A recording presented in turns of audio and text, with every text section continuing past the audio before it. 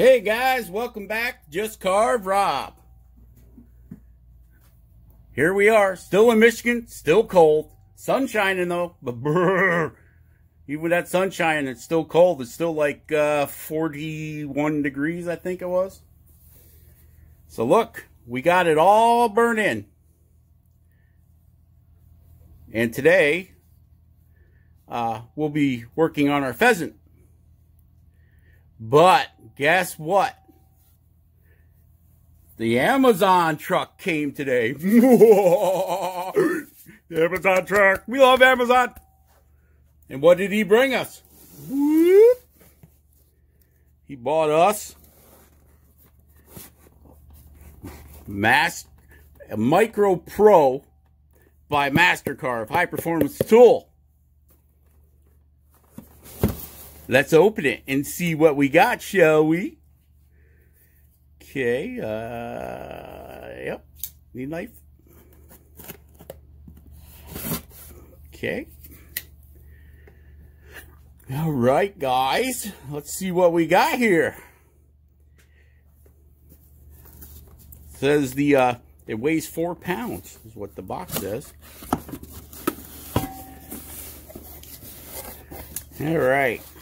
Now we got a piece of cardboard. Did not know Mastercarve made knives and chisels. Well, you got the Mastercarver uh, wood burner too there, huh? What do we got here? Oh, this is our hand piece. Let's see. Let's get it out of the bag. All right. Looks like that's the collet lock right there. Looks like they got a a pin pin. Um, looks like eighth inch. Looks like this is the eighth inch, and then it looks like it has a another collet that slides inside the eighth inch for 330 seconds. Okay. So that's cool. Quarter turn. She's locked up. It's our plug. That's what the handpiece looks like. Okay, 46,000 RPMs max. All right, let's set this to the side. And this must be the motor part or the, the computer drive part. Uh, it looks like it's got a spot for a foot pedal, but we didn't get the foot pedal. It's got forward and reverse, on and off, speed control. Okay, let's move our box out of the way. Let's see. Oh, we got a bag. What's in the bag? Bag of stuff. All right. Looks like uh, brushes. Brushes for the handpiece. Give you a spare set. Okay. This looks like the okay you put your hand your hand piece in there you can put it on either side by the looks of it okay so we gotta we gotta put these brushes someplace that we don't lose them what else we got here oh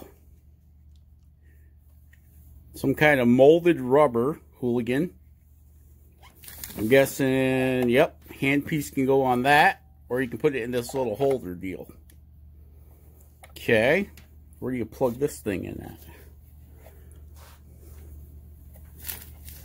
Over here on the side, it's a three pin. You must have different options because there are many pinholes, but only three of them in the handpiece. Okay. Come on, Rob. Figure it out, man. All right. There, like that. All right. Our cord. Get the rest of this packaging stuff out of here.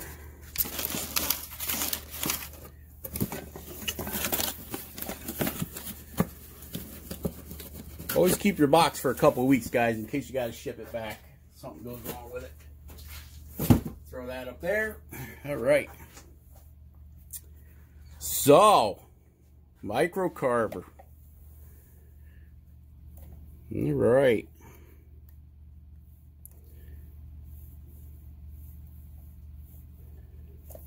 Get our cord undone here. Plug it in.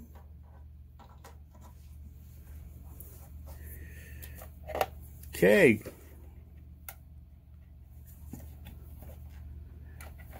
Turn it on. Wow, that's pretty quiet.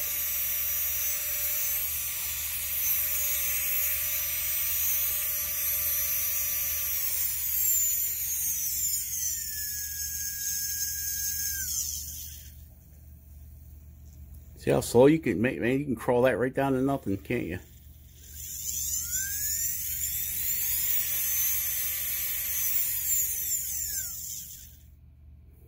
All right, turn that off. They should give you a place to put this little collet. I wonder.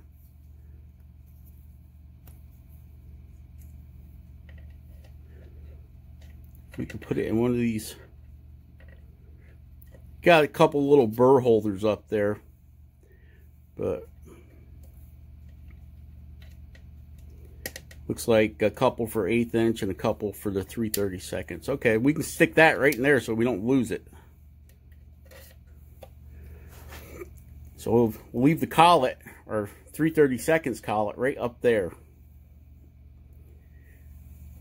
Okay. I like that holster on the side.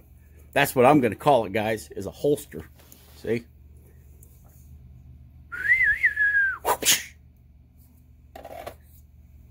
The good, the bad, know, Clint Eastwood movie.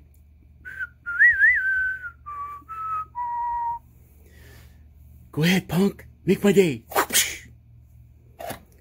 All right. And we got this one here that you could set it on. I think, uh, I don't even know if I'll use this, but We'll set it off to the side, and then if we need it, we got it, right? I kind of like the holster deal. All right, so let's put that off to the side.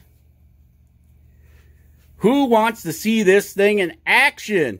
Anybody? Nah, nobody wants to see it in action? All right, well, I guess I'll play with it later then. Yeah, nobody wants to see it.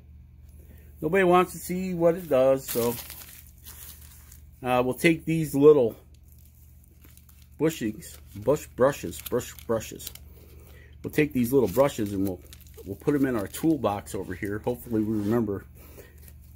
No, I got the perfect place. I'll put them in my cabinet with my other supplies and hang them. I got a little pegboard thing. I just hang them up, then I'll always be able to see them, right? Little pegboard thing, guys poke a hole through the bag, and hang them up there. Then we know where they is at all times. All right, so. Has anybody changed their mind? They want to see this thing carve? No? Nobody wants to change their mind? Oh, what do we have we can mess with? Should have some some wood right laying around here someplace. Okay, hey, yeah. We got this little piece of basswood here. Okay, uh, let's put, see how much juice this thing's got here. Let's put this uh, taper burr from Flexcut in here. We're going to do the same thing with this that we do with our Dremel. We'll push it all the way in and then pull it out of here. Okay. See, it's locked in there.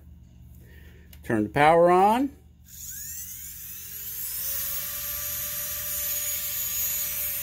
Okay. Let's see.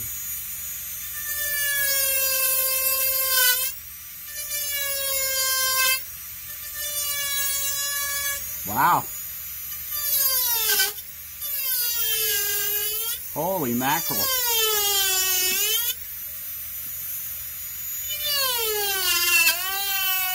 Full cut. Wow, look at that, guys. That's at the full 46,000 RPMs right there. Turn her down to half speed. Okay, well, I can tell you this much. The speed may have uh, dropped. Look at that. I'm pushing on this thing, guys. And, uh, yeah, the The torque is there.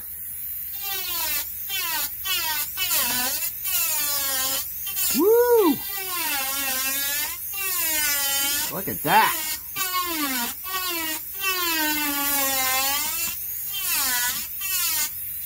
Look at that. Look at that mess it's making. Okay, crank it back up.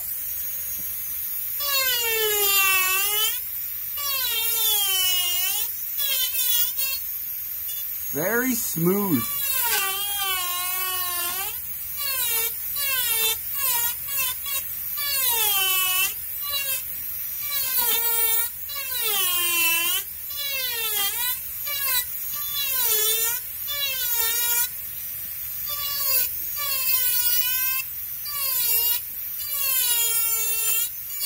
You know, I hate to say it, but uh,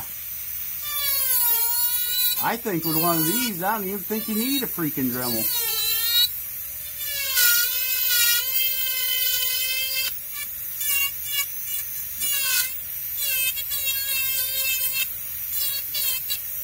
I don't even think you're going to need a Dremel anymore, guys.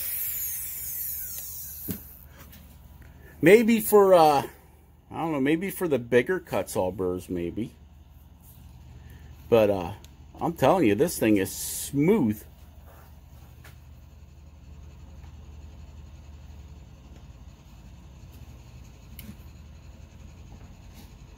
Let's see. We'll go to that bigger, the bigger Kutzall burr there. Push it in, pull it out a little, lock it up, turn it on, kick her in the teeth and crank her all the way up. Let's see. This is the, now this is probably one of the biggest burrs that you'll use. This is Kutzall Extreme.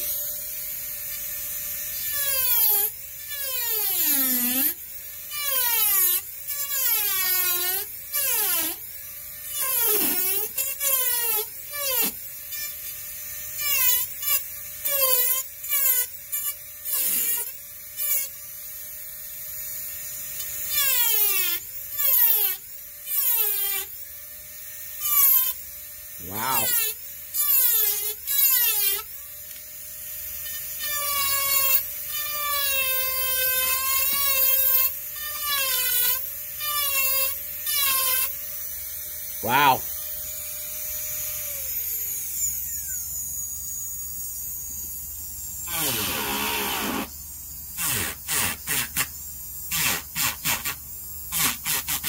Wow. What else can I say about that?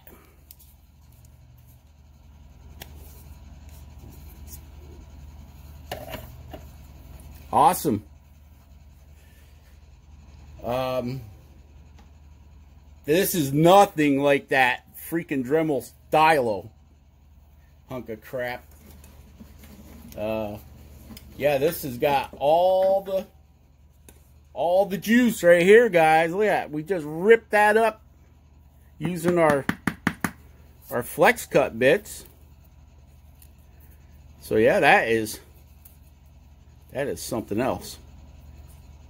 Wow. I'm impressed. Color me impressed.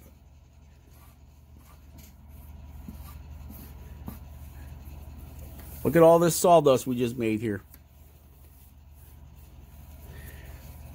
So, I would say for 200 bucks, that's what I paid for this one from, uh, was it eBay? I think it was eBay.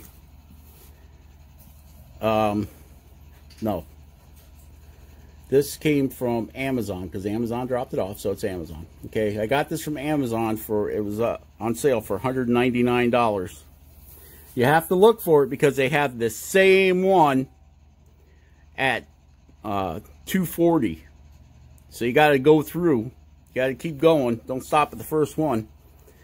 Uh, this was $199 and 99 cents, so 200 bucks. Uh, free shipping. So with tax and everything, it cost me $212.46, I think.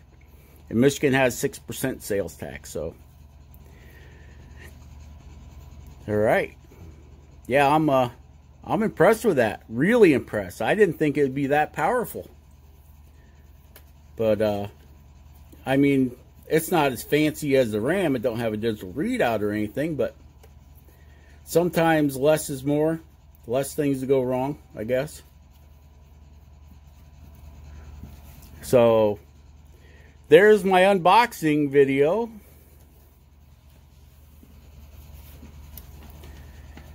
Of the Master Carve Micro Pro. Uh, that's the other thing. Make sure it's the Micro Pro because they have ones that have less RPMs in them. And uh, they're no less on the money, though. They're just less RPMs. I think they're like 35,000 RPMs, some of them. So make sure it's the Micro Pro, the Ma uh, Master Carve Micro Pro. And always look at the descript description, guys. This is the 40 46,000 RPM one, okay? 46,000 RPMs. Our Dremels run at 35,000 RPMs. And I can tell you, I've used Dremels a lot. And this thing, much smoother. Much smoother. And you're not fighting this. So, yeah, I could see why uh, Ben over there at Studio on the Lake doesn't have a Dremel. He has two of these. Uh, well, not these. He has a different different brand of uh, micro carvers.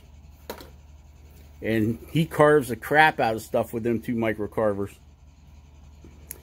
Okay, so there it is, guys. Unboxing video. Hey, we'll be we'll be back to work on the pheasant. We're gonna give this guy a try on it. See how much if we, how much we like this uh, for carving our feathers and stuff. Um, usually that kind of stuff I'll do with a knife or my SCM. Okay. Um, which I still may do because I don't think I have fine enough burrs for this guy to get in there. Uh, I never see this replacing the SCM though because the SCM high-speed air tool, high-speed carving tool is, uh, if this is like cutting butter, that's like cutting snow. I mean, it just... So, yeah. I, I can see this replacing my Dremels, though. You know? Probably not, because... Just because I can load three bits now. Three different cutters. I can put... I can put like a Kutzall in this guy, and a diamond in this guy, and something else in that guy. And I don't know. We'll see. Um, yeah. But uh, for the next uh, 30 days, I think I got to return this. So for the next 15, 20 days, we are going to be working the tar hooties out of this thing to see how it's going to hold up. So that's my theory. When you get a new tool and it's still under warranty, use it. Use it, use it, use it. Because if it's going to break, you want it to break during that warranty period. That's my theory. Because if you don't use it and it sits around, and in a month you go to use it and it breaks, guess what? Now you got no, you're just stuck with a broke tool. But uh, from what I've read online about Mastercarve, they're supposed to be a good company. They're supposed to be good to work with. And it's supposed to be a good tool. So, all that being said, and me running my mouth, we've ran our time up. So, hey guys, share, subscribe, and like. Be awesome. Carve something awesome. And we will catch you guys on the next one. Just Carve Rob saying just carve. Share, like, and subscribe. Hit the bell if you want a notification when the next video is coming up. And we will catch you guys on the next one. All right? Bye.